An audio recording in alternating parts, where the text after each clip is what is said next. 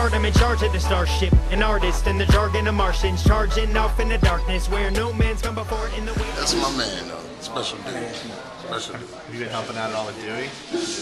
No, no, no. I really been working. Little advice, Dewey. Yeah, Dewey, Dewey, Dewey wants to learn, and Dewey's just trying to learn. I, I told Dewey the only thing I really got on Dewey about was I, I said, Dewey, you're a little hard on yourself. Things you're looking for take a course in the process called time. Trying to do too much too early. You're like same I did. I mentioned Dave Reid. I remember telling Dave Reid his pro debut. I said, don't try too hard. There's nothing you can do that's going to match what you did today, Olympics.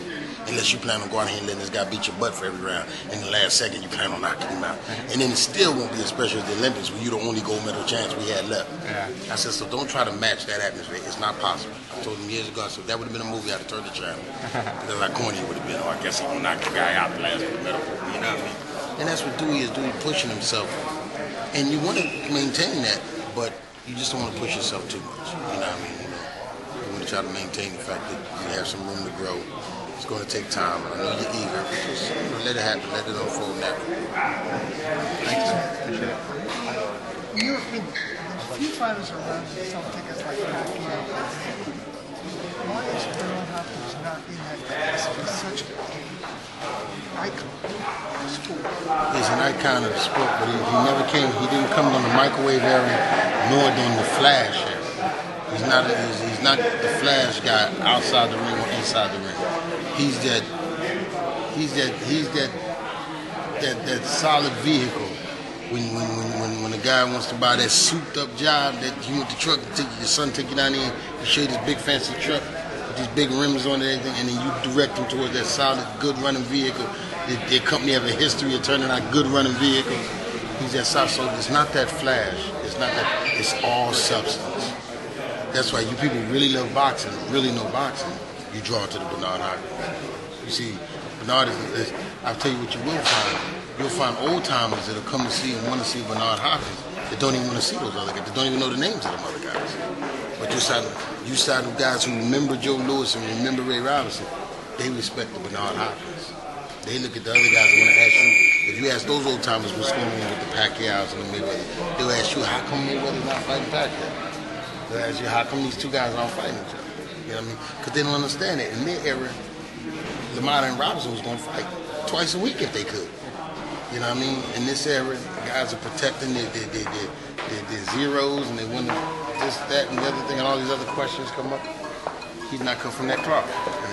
He's just not in that, that flash in the pan. He's that, that solid pro- productivity over the years, over that endurance, that endurance. Like I said, I don't think he's going to be appreciated.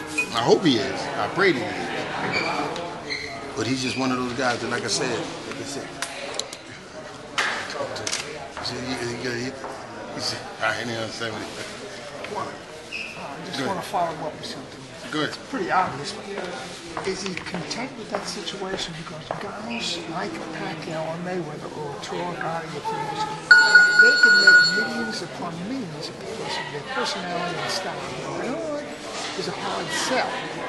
you can turn Now, you know, there's a fine line between how much I want to excite the public and how much I want to be myself. Well, we, we can say that. Okay, but here's what I ask you. You might be familiar with these artists as you may not be familiar with.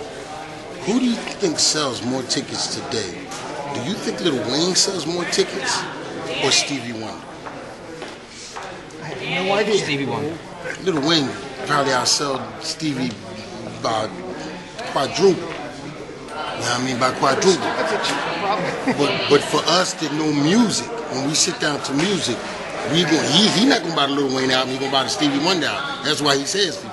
I'm gonna buy the Stevie Wonder album. Because it's that solid process. Now we, you're gonna have these different artists in, in every venue in every in every walk of life. You're gonna have you're gonna have that girl who you knew was had the prettiest dress, was the nice looking and the great legs and whatnot, whatnot. and you're gonna have that girl who may not have all that, So but he- cook her behind off, clean the house, and He's Bernard is Etta James, not Lady Gaga. can't put it better than that. So what kind of challenges does Dawson pose? I mean, he's not exactly the style that fits what Bernard likes. That come forward style. That he's a lefty. He's a puncher. He does everything that Bernard actually does. And then think about it. Bernard lost to one lefty ever. I mean, you got to put that in. But here's the thing. That was Calzaghe, though. Yeah, and, and, and here's the thing you have to look at when you when you look at uh, this kid Dawson. Out of the young light heavyweights, Dawson is probably the most technically sound of the young light heavyweights.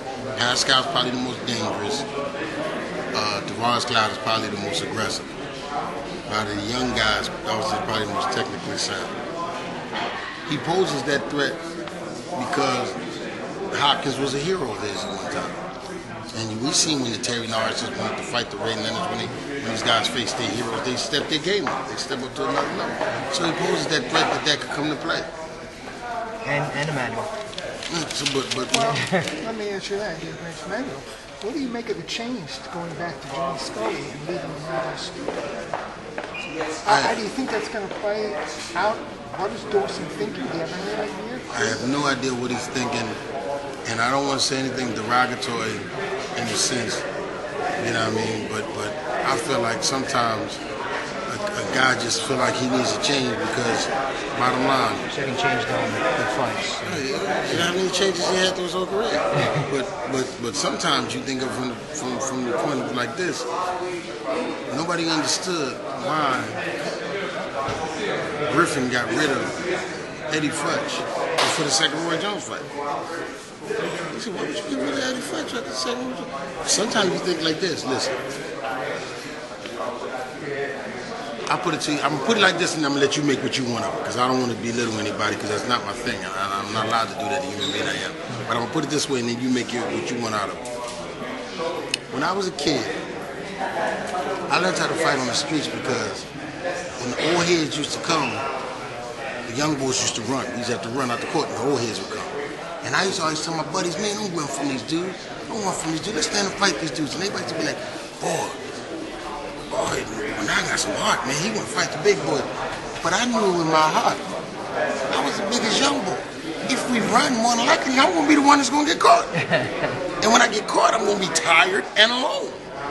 So my thing was instead of run, take this energy I got and go ahead and fight. So sometimes you think, if the inevitable is going to be this, why do I need to go broke too? You know what I mean? Sometimes, sometimes if you think about it, a guy said he went and got when when, when when I was in the music business.